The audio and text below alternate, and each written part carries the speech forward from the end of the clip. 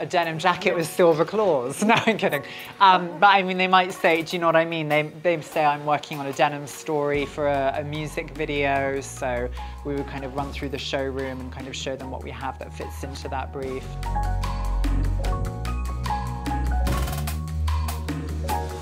Hello, LA. We're here talking and shopping in the City of Angels. Join me, Lauren Walker Lee, as we make our way through this vibrant metropolis, exploring the unique people and spaces who create the essence of LA style. LA sets the stage for bold experimentation, artistic flair, and sustainable sensibilities. Let's take a fashion forward trip through Los Angeles. Today I am meeting with fashion PR maven Portia Shaw, co founder of the Pop Group. Portia architects the growth of her clients from root to success, securing press coverage and priceless celebrity placements. With offices in LA and London, she has her finger on the pulse and a major black book of contacts. Let's go talking and shopping with Portia Shaw. Hello. So good to see you. So good to see you. Thanks so mm. much for having My me. God, welcome, welcome. This is the Madhouse. This is your Aladdin's cave. This is our baby here on Melrose Avenue. We've been here for five years. So we've got a real mix of brands in here. We've got brands just like this one here, which is Luca Filoni. It's Italian menswear. They've been going for about seven years now, actually, and started online. And then we've also got brands like Black Paris. They've got stores all around Asia. Um, everything they do is black. They kind of coined the phrase all black everything. But then we've also got some of our younger brands like by Chevelli, who is an independent designer who's based in New York and she just does earrings. Really, really sweet. Everything's kind of handmade in her studio. We love that. We feel like whenever a stylist or an editor or an influencer is coming to us, we've got something for everyone. It doesn't matter what they're looking for. So Portia, there is the showroom here, the showroom in London, your new online piece of technology, but I think it's best to start at the beginning. Oh gosh, okay, so yeah, rewind 2011. I started Pop in London um, on my own with a loan of, I want to say it was like 5,000 British pounds that I had to repay to my parents. And I got my first mini, mini, mini office in, in Oxford Circus. And it was me and an intern, five brands. And I started on the 1st of August. And I remember this because September was a month away. And before I knew it, I suddenly had like five runway shows to do as well. And it was fantastic. I mean, it was crazy. It was long days, late nights, early starts, but it was fantastic. And, and the business really organically just kind of snowballed. I was really fortunate. I had the support of many editors and particularly the freelance stylists that were phenomenal to me and continue to be, and, and the team.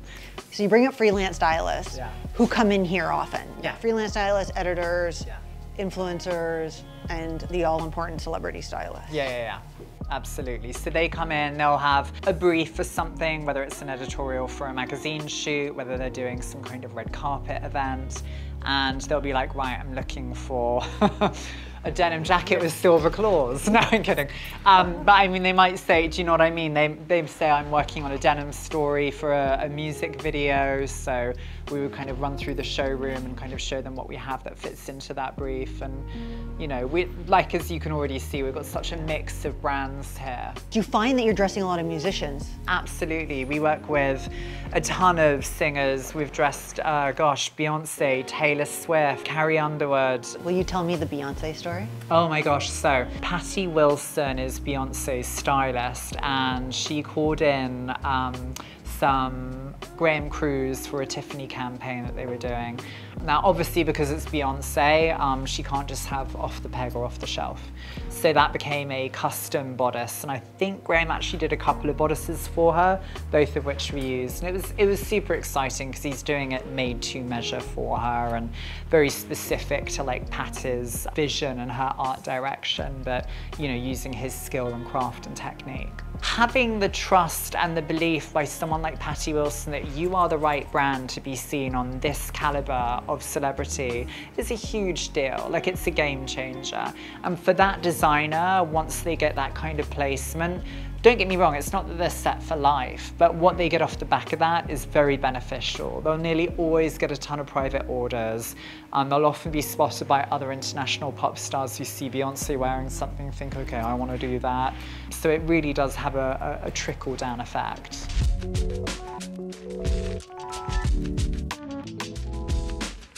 So celebrity placements and endorsements are very important as we know, but in this like rise of social media and influencer culture. What have you seen in terms of changes in your world? I mean, the whole industry's changed. You know, PR when I started in it, gosh, 20 years ago was very different from how it is now. And I think that essentially um, our roles as PR, they're not redundant, they've just completely evolved and adapted. And not only are we, um, you know, giving people advice on um, who to be using for all of their campaigns and art direction for that, we're helping them a little bit on the, you know, the pandemic changed how mm-hmm. brands run their businesses. Like now not everyone is working in seasons. Some people are doing product drops as and when. And for us as PRs, it, we're kind of narrating a very different story for these brands and making sure that we're drip feeding interesting pieces about what they're up to to the relevant journalists when it's happening. But I mean, our actual business for the pop group here has changed massively because we incorporated some software.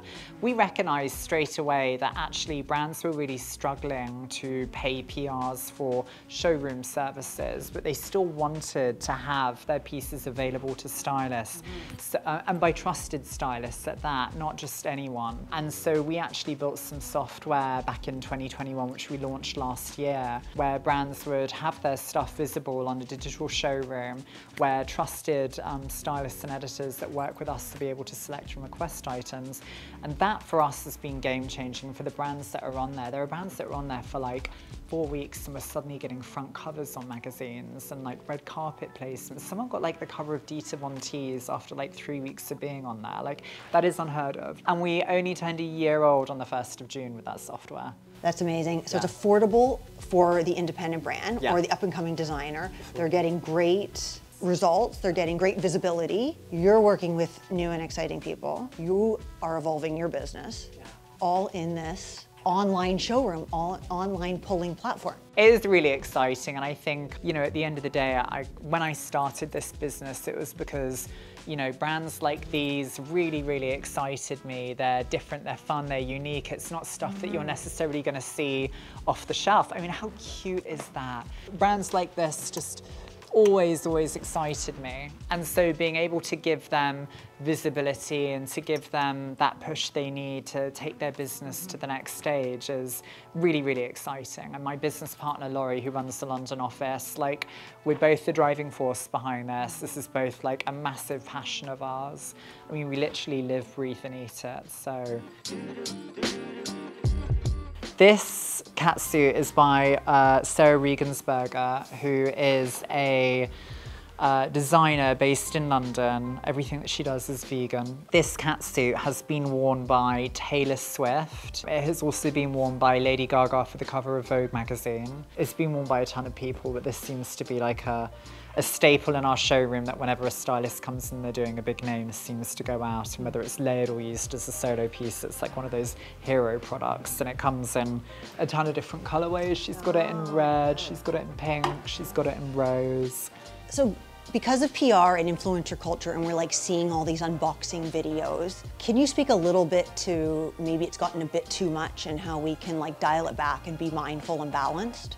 I mean, I literally want to hold in my handbag. If I see another unboxing video, it's too much. It's too much. It's unrealistic.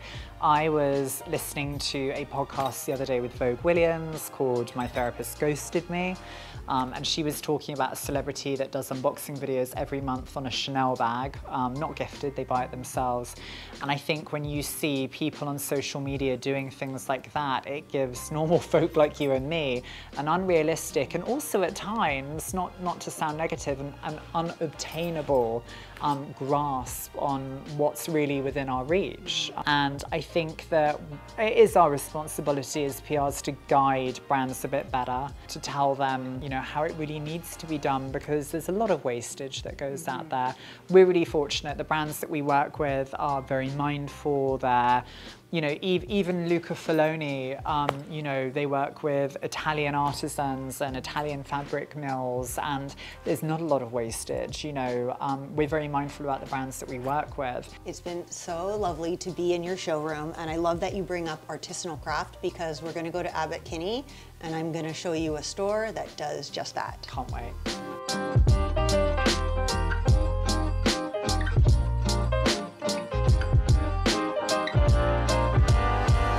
Up here is Industry of Nations, the store I was dying to show you. We're gonna meet with Eric, their head designer, and he's gonna tell us all about the brand.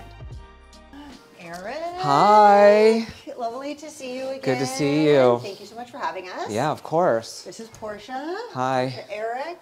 Uh, Portia is a PR maven here in LA, and I really wanted to show her your shop. Of course. Okay. So welcome. So Industry of All Nations was founded in 2012 to really showcase the beauty of natural and organic and cultural heritage that all goes into the clothes. So really the name comes from every country before globalization made their own clothes. So it's kind of the industry of all nations. Everybody had their own manufacturing system. So what industry does is takes this cultural heritage from these communities where the raw materials are from and then showcases it through their products to customers around the world. And what communities and artisans do you work with? So we have three main projects. One in India called the Clean Clothes Project. So it's made in Tamil Nadu. So everything is organic cotton, natural dyes, all made from sustainable and renewable resources. The second project is the Alpaca Project, all from the Bolivian highlands, um, where ranchers for millennia have been shearing and taking care of these alpaca, and then spinning the fibers into yarns, then knitting them in this mountain region in Bolivia, mostly by women. And then the Recycled Fibers Project in Guatemala, where, where organic cottons are respun and repurposed into new fabrics to make new materials. And can you tell me yeah. a little bit about how you guys choose what dye to use? So all the dyes are all natural dyes. So in general, the dye making process requires so many materials, water, electricity, chemicals. So if you think about like a production line from start to finish, like crop to closet, there's all these branching off points like in the 21st century manufacturing process. It's like forever chemicals, like polluted rivers, communities that are destroyed in their cultural heritage, not respected. So what industry is cool about industry is everything that goes into the clothes comes from the local environment. So all these natural dyes, for example, like um, shellac comes from the secretions of beetles that are left on tree bark. Then you take that and melt it down and turn it into this dye, which becomes this beautiful, like, dusty rose. But then undyed, which is actually like the best for the environment, which requires no extra energy to create the materials and the dyes, and there's no chemicals involved. It's just respecting the fibers for how it begun. One thing that people kind of don't get when you say the word undyed is you think you lose color. Mm-hmm. But with undyed, there's tons of colors between natural browns and um, creams and with the alpaca, all these different heather grays. So it's really showcasing the beauty that the earth has to offer. So this is the alpaca. So you can see this beautiful like toffee color. So all of the alpacas are sheared and then the fibers themselves are separated based on the color of the alpaca. So all of the tobacco colored ones get um, put together, um, all of the heather gray ones get put together, and then you can see like the richness and the depth of the color that's created. Eric, so LA leads the way in ethical and sustainable fashion movements. Can you expand a bit about how you guys like totally fit the bill? The most interesting part of Industry of All Nations is that not only are we using sustainable materials, it's sustainable processes. So from the very beginning to the very end, the whole life cycle of the product is thought out, including the people that are working for industry, the plants that we're using and the animals that we're shearing to make all of the clothes. So it's not just saying it's like, oh, like 30% of these pieces are recycled fibers and then, you know, the rest of the 70% are still like cottons or fibers that are, or polyesters that are kind of destroying the earth. So really it's about creating whole sustainable ecosystems and manufacturing processes that create a loop of production that can make this planet livable for millennia. And can you speak to the neighborhood being in Venice? Venice and Abbot Kinney is really like the center of LA's shopping district. So, of course, if you want to have a shop, like this is the place you want to be. And it's so great to showcase what sustainability can mean, even though like now it's such a buzzword and it can be thrown at anything as a marketing tactic, but industry kind of it's like a soft play in the background and we're really showcasing the clothing, the production processes, the people behind the clothes, and um, the designs themselves. Yeah. Will you show Portia and myself some bestsellers? Of course. So this is one of our most popular pieces, the indigo t-shirt. So this one's been dipped six times in an indigo vat. So each dip, the color intensifies. And um, at a price point of $40, it's definitely one of our best sellers. This is another one that I was telling you about that's undyed. So this is the wild cotton hoodie. So this color, the brown, is the color of the cotton itself the, when it comes off the plant. There's an so, ombre effect. Yeah, so there's like a heathering effect where the color has these highs and lows, which creates this like rich depthness to it. And it being undyed means like so much water and electricity and resources are saved in the entire manufacturing process. And these are another one of our most popular items, the classic jeans. And these are made from 100% recycled cotton in Guatemala. So everything is processed and then put down back into a fiber and then respun into a new material, creating this denim color that's beautiful. Portia, you work in fashion PR, so you've seen it all. You do have the pulse on what's going on. Can you talk about the shift you're seeing towards sustainability? Some major shifts towards sustainability when it comes to fashion. I think there's two different areas. You've got one where people are claiming to be sustainable and maybe only an element of their business is. But then you've got the other extreme where people really are a little bit like these guys. They're kind of sustainable to the very core. I work with brands that even the buildings that they operate in are heritage buildings that are solar powered and all the team drive electric cars. Um, and I think we are seeing a massive shift. And I think you only need to read articles in the business of fashion to see the hmm. change that's happening within our industry. And I think also from like a consumer perspective, I think we as consumers are probably shopping way more consciously than we were before. I know I certainly am. I'm, I'm not shopping anywhere near as much as I was purely for that reason to try and be a little bit more mindful as to what I'm buying. You work with tons of independent brands. I work with 105 independent brands, yeah. When someone new comes to you and you're shaping their image or you're shaping their, you know, PR message from the ground up. Yeah. What's that like? I mean, look, we don't work with anyone that we haven't had like one-on-one time with. It's not like a brand comes to us and is like, oh, we want to sign up to your services. And we're like, no worries, just sign this contract. Like, mm. there is a whole process. We need to know that these guys are who they say they are mm -hmm. and that they're authentic. Everyone comes to you with different needs and different wants. And I think in terms of shaping that image, you've got to be realistic with a client as to what's possible. Like mm. often a brand will come to you and say, I want X, Y, and Z. And it's like, well, hang on, you're not even at A, B, and C yet. Mm. So why don't we start there? And do new emerging brands have sustainability pillars built in from the ground up now? It depends what you measure sustainability on. I would say a lot of them do because they're working on such a small scale, um, you know, in terms of they're not buying masses of fabric and then wasting it. Um, you know, often stuff is made to order rather than having like a ton of inventory. Again, a bit like these guys. And it, it, yeah, mindful limited runs. So yeah, I do think there's a lot of that happening right now. I would say certainly when I think about the brands that we're working with, more than 70% are definitely operating like that, which is nice to see. LA's got a lot going on. Can you fill me in on the diversity of the styles in the neighborhoods? So the different styles within LA, my goodness. In Malibu, people tend to be, um, it's a very different style. It's like beach chic, as I would call it. It's messy hair, it's no shoes. That's a very common thing. You'll go into Whole Foods and people will be barefoot doing their food shopping, which is brilliant. But then, you know, you'll go to the Palisades where it's more Lululemons and like the husbands will be wearing Faherty. And then you kind of come into Venice, which is I mean, it's kind of dripping with expensive brands here, but very unknown in the sense, you know, someone will be wearing a cotton t-shirt, but that t-shirt's probably about $500, but then you'll kind of go into like Beverly Hills and Hollywood, and it's a little bit more glamorous depending on which areas you're in.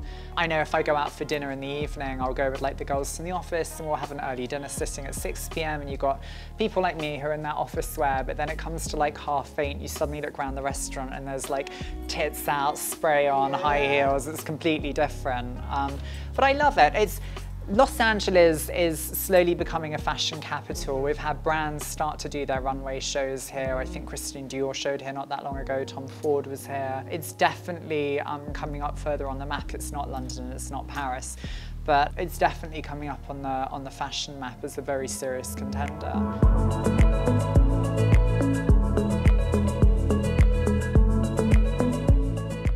Through the lens of conversation and style, we have gone behind the scenes to get to know the fashion industry in Los Angeles. In a world where trends can be fleeting, we have learned from both Portia and Eric that staying authentic and innovative will give you an edge in an industry in constant motion. Beyond the glitz and glamour of LA, there is the undercurrent of sustainable fashion and individuality for those seeking both substance and style. See you next time on Talking and Shopping.